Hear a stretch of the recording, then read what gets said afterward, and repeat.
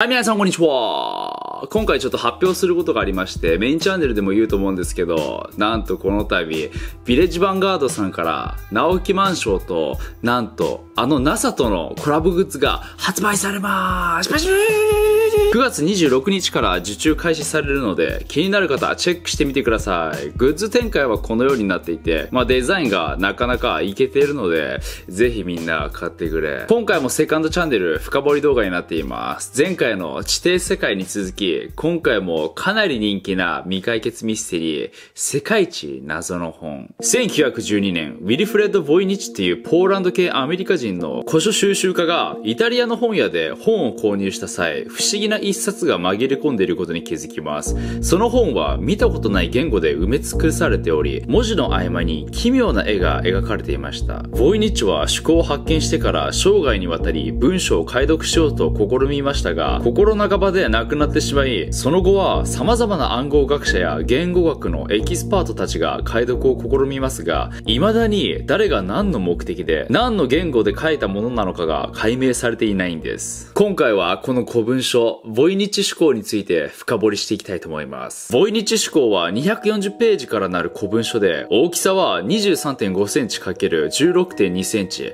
厚さは5センチほどで、用皮紙でできています。少なくとも28ページが欠落していると推測されていて、2009年にアリゾナ大学にて行われた放射性炭素年代測定により使用されている用皮紙は1404年から1438年の間に作られたと測定されました。文字は左から右に綴られていて、ほとんどの単語は20から25ほどの同じ文字で成り立っているようでした。文章には砕く点などは見られず、37,919の文字から成り立っています。それぞれのページには多数の奇妙な絵が描かれていて、絵だけのページも存在し、絵は植物や銀河、女性がプールに入っているような絵など、不可解な挿絵が多数存在します。これらの挿絵をヒントに、ボイニチ思考は6つの章に分けられていると考えられています。第1章、植物。植物の章は112ページから成り立ち、思考の半分ほどを占めます。113もの奇妙な植物の挿絵が各ページに描かれていて、根まで含んだ植物全体を描いたものです。その当時ヨーロッパなどで生息している植物かと思われましたが、現存する資料や専門家が確認するも、類似する植物を特定することができず、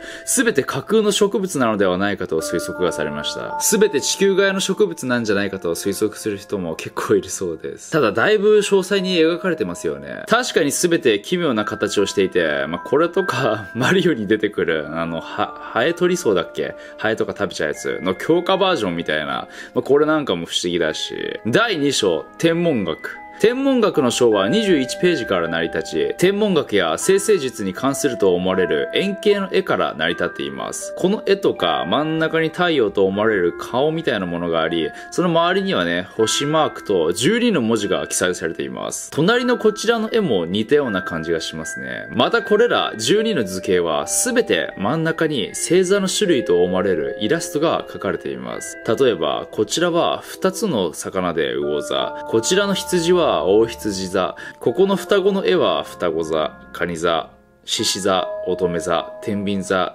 弓矢を持った伊手座などなど、これらは明らかに星座を表しているようです。12の図形すべてに30名の裸の女性が描かれていて、全員手に星のようなものを持っています。こちらのスパイラル状の図形は、アンドロメダ銀河などの渦巻き銀河に形が似ているとされていて、その当時の技術では到底観測することができなかったため、この作者がどのようにして図形を描くことができたのかが疑問視されています。まあ、俺らが渦巻き型って推測してるだけで、実際は違うかもしれないからね、全然。まあ本当にそうだったら、これは不思議な本になります。第3章、温泉療法学、あるいは生物。こちらの章は20ページから成り立っており、文章がページを占める割合が多いんですが、合間合間に裸の女性が描かれており、不思議な形をした緑のプールのような液体にみんな浸っています。プールはすべてパイプのようなもので繋がっていて、まあ、これとか女性何してるんですかねサーフィンかね波乗り？このような不思議なパイプの形が繋がり、最後の方では女性たちが何か飛行物体で飛んでるようにも見えます。あの、海の上を飛ぶ水上ジェット機みたいなやつですかね。次の章、第4章、宇宙論。文字のみのページや円形の図形が書かれているこちらの章は、1箇所6ページ分が折りたたまれている箇所があり、そこには大きな円形の一枚図が広がっています。円形の図が9つ繋がっており、そこには城や波のような絵が存在します。そのことから、これは何らかの地図なんじゃないかと推測されているんですね。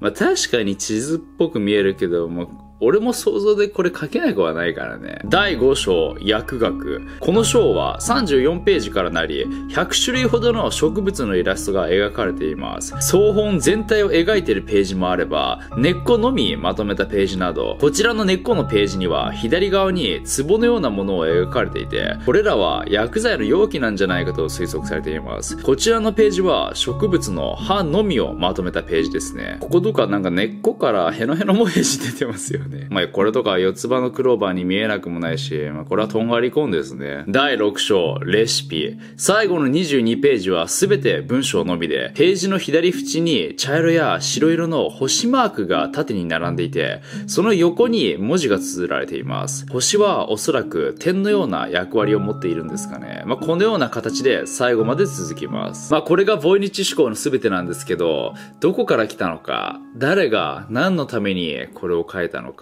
先ほど年代測定により、趣向は1404年から1438年の間に作られたものだと言いましたが、分かっている範囲でこちらの趣向は最も古い持ち主は17世紀プラハの錬金術師ゲオルグ・バレシュだと言われています。彼はこちらの趣向の解読を試み、古代エジプト文字の解読をし、有名だった学者のアタナシウス・キルヒャーに趣向のサンプルを送ります。その当時の紙が残っており、趣向について触れていたようです。バレッシュの死後、趣向は友人のヤン・マレク・マルチに渡ります。彼はプラハ大学の学長であり、彼も長年の友人であったキルヒャーに解読を試みるため、こちらの本を送ります。その際、彼がキルヒャーに宛てた手紙が、ボイニッチが購入した本に挟まれていました。その手紙は1665年、もしくは1666年の8月19日に書かれたもので、このように綴られていました。この趣向は友人から譲り受けたものです。この趣向が私の元に届いた時から、あなたが持つべきであると確信していましたぜいや、なぜなら、あなた以外、こちらの趣向を解読できるものは存在しないからです。前の所有者のバレシも生涯をかけて解読を試みましたが、努力は報われず、命と共にこの趣向を手放さざるを得ませんでした。神聖ローマ帝国のボヘミアン王、フェルディナント3世生の家庭教師であるラファエル先生によると、この本はかつてルドルフ2世が所有しており、彼は600ドゥカートでこちらの趣向を購入されたようです。彼は趣向の作者がイングランドの学者、ロジャー・ベーコンであると信じていたようですが、これもまた判断が難しい事実です。ぜひ、あなた様の力でこの趣向を解読してください。ヤン・マレク・マルチ。ルドルフ2世が本当にこの趣向を所有していたのかどうかについては、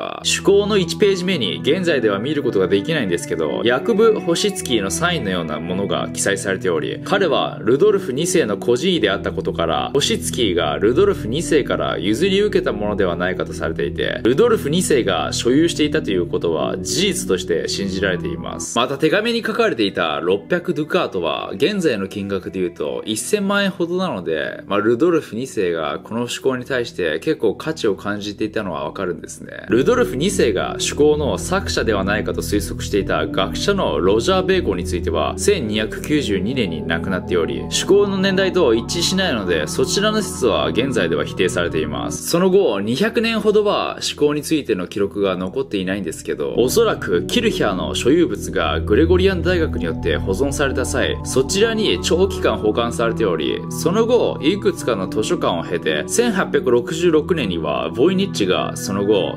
1912年に訪れたイエズス会の図書館にて保管されていました。ボイニッチは思考を発見してから生涯解読を試みたんですけど、彼の死後は妻のエセル・リリアン・ボイニッチに渡り、その後、数名の手に渡りましたが、1969年に現在趣向が保管されているイエール大学に趣向が寄付されました。まあすげえいろんな人の手を渡ったけど、まあ現在ではイエール大学にあるんですね。ボイニッチ趣向をめぐり、現在では3つの説が挙げられています。暗号説。ボイニッチ思考は全て暗号で書かれていて、イラストなどは読み手を惑わす目的で、本当の意味は文章に隠されているという説です。こちらの説は主に1900年代の解読者の中で信じられており、1950年頃、ウィリアム・ F・ フリードマン率いるアメリカ国家安全保障局 NSA のチームも暗号の方向性でボイニッチ思考の解読を試みました。イミテーションゲームの映画で有名な暗号機エニグマを解読した数学者アラン・チューニニングまでも解読を試みたんですけど、解読には成功せず、現在存在するどの暗号方式も当てはまらないという結果から、こちらの説は立証できていません。偽書説。こちらの説は、ボイニチ思考は完全なる偽書であり、高価のものと偽